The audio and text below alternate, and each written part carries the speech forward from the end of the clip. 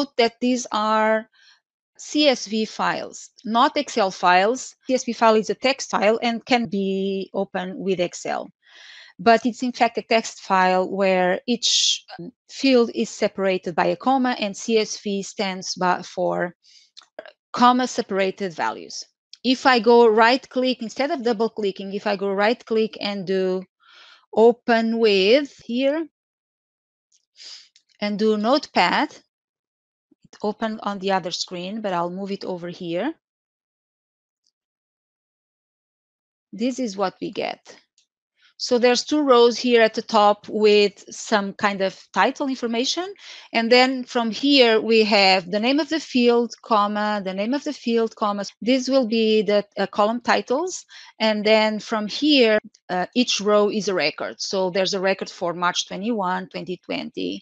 This is the sales rep uh, ID. And then the product ID is this one. And then comma. And lastly, we have quantity.